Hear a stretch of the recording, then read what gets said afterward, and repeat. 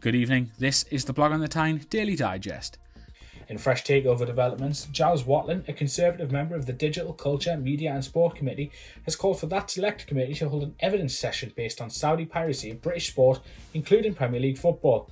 It seems that Watling has been scratching at this particular post for quite a while now with very little success, so it shouldn't be anything to worry about. Meanwhile, former Newcastle star Yohan Gouffran says that Steve McClaren was the worst manager he's ever had.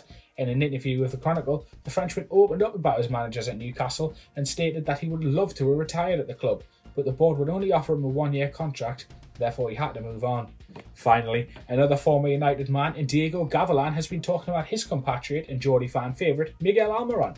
Gavilan says that he thinks the decision to bring Almiron to Tyneside was a great one and that the midfielder is not only a fantastic player, but a fantastic human being too.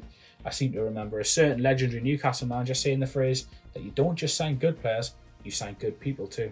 That's all from me. Thanks for listening and log on to www.theblogonthetyne.co.uk for more Newcastle news and opinions.